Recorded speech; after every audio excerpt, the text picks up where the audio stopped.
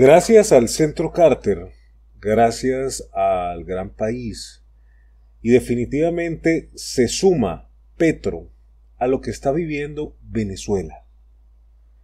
¿Y a qué me refiero? Es que esto no se lo cree, es que ni la mamá de Tarzán, dice mi mamá. Un saludo, ella siempre me escucha. Eh, hay, que, hay que entender algo, señoras y señores.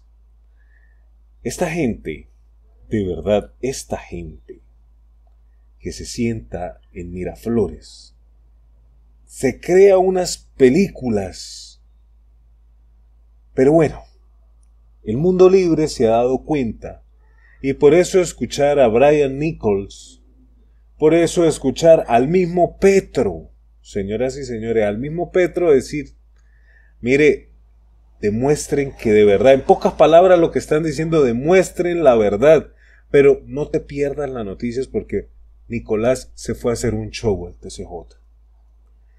Para seguir con este cuentico y él acomodarse él mismo en persona fue porque es que él no se siente reconocido. Bueno, no voy a hablar de eso en este video, en el siguiente video sí. Pero ahorita lo que me interesa es que analicemos que gracias al centro Carter, Nicolás Maduro eh, no, no pasó lo que él dijo. Centro Carter decidió irse y no dar declaraciones en Venezuela, obviamente porque ustedes saben todo lo que sucede en nuestro país, ¿verdad? Cuando alguien no está conforme a lo que ellos quieren que la gente diga. Ese es el detalle. Esa es la situación que se presenta en este momento. Y aquí lo más interesante es que ¿quién invitó al Centro Carter? Personalmente, el CNE invitó al Centro Carter. Entonces, entonces, Nicolás, ¿a qué juegas entonces? Por eso es muy bueno recordar, porque recordar es vivir.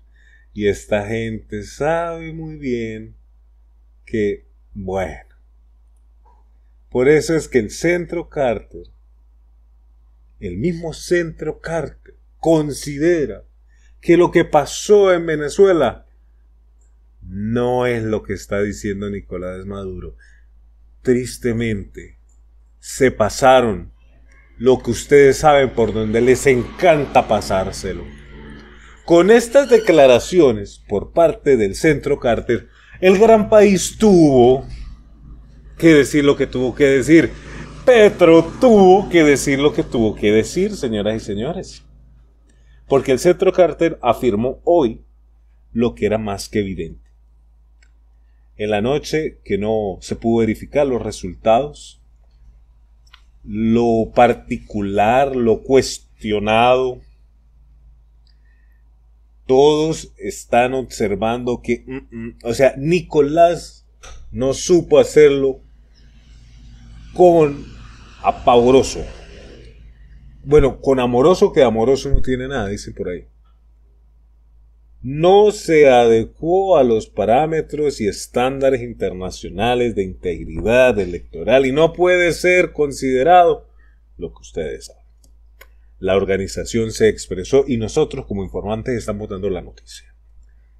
El CNE, el mismo CNE de Venezuela, el mismo Elvis Amoroso, invitó al centro Carter. Es que fue tan grande lo que hizo el mundo tan abrumador lo que hizo el mundo, que su triunfo le dio una gran lección. Y es por eso que Maduro está corriendo.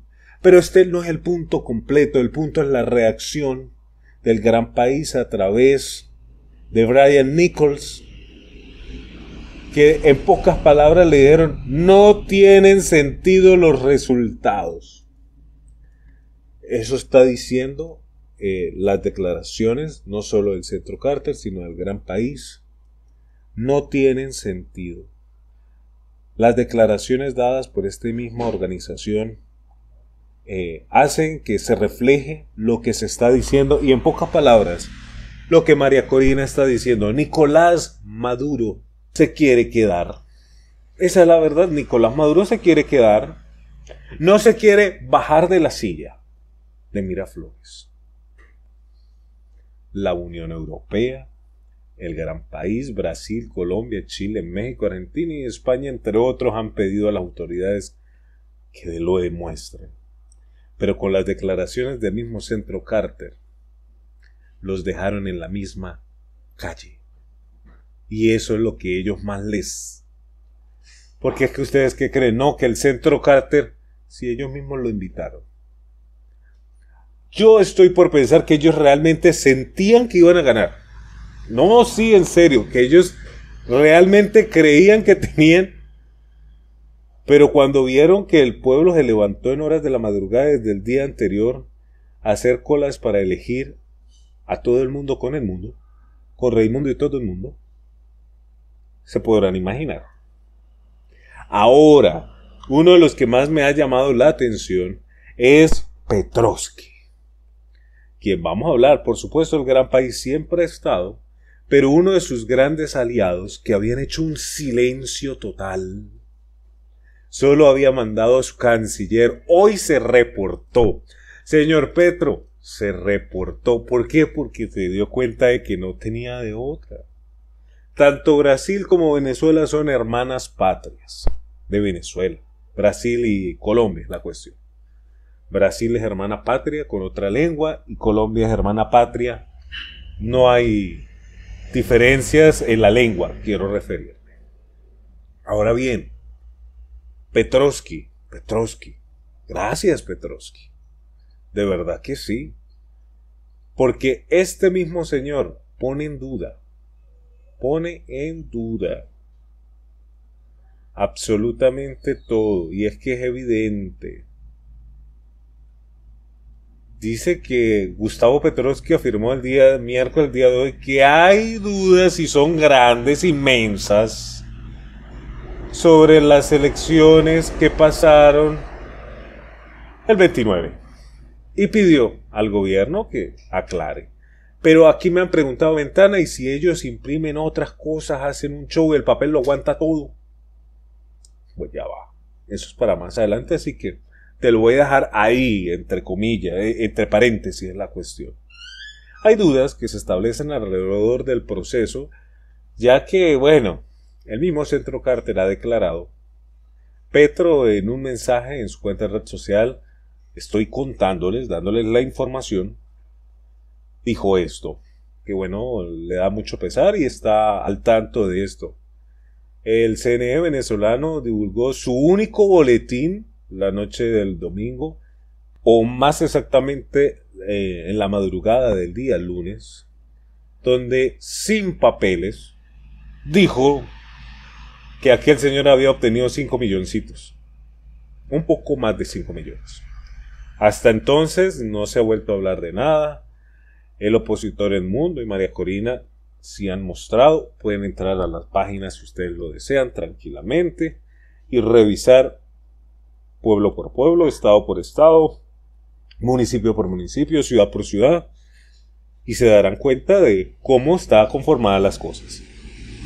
Lo que sucedió, que hoy hablaba con mucha gente, decía, lo que pasó es que perdieron en sus casas no solo perdieron ahí, sino que no fue a votar la gente que esperaba. Y los que fueron, que ellos creían, fue por el mundo y Raimundo y todo el mundo. Eso daba a entender que el chavismo estaba con el mundo. Y eso es lo que los hizo brincarse y saltarse. Y usted opine. Gracias por compartir, multiplicar, extender, suscribirse. Un abrazo. La frase del momento es la siguiente. Ojo con esta frase tan bonita, no, no vale la pena y hay que tener cuidado. Aferrarse a algo que te hace muchas veces eh, ponerte triste, acongojada, acongojado, molesta, molesto, inconforme, triste, deteriorado, solo porque te hace sonreír de vez en cuando.